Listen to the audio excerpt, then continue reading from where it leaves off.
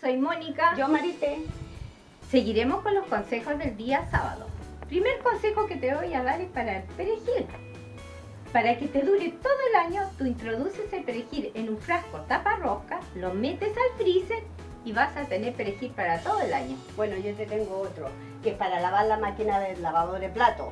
Lo único que tienes que hacer es colocarle limonada en polvo, ¿Ya? hacerla correr un ciclo completo y vas a ver que la máquina te queda como nueva. Yo te tengo otro para que el peinado te dure todo el día. En un rociador tú le pones agua, unas gotas de jugo de limón.